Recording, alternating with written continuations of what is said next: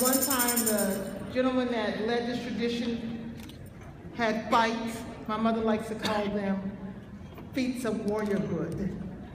But they weren't fighting in a traditional sense. They were fighting for their rights, and they were fighting to be self-actualized in this country of America where freedom is so prized. They had to fight to be free, even if it was just in their mind and through these suits.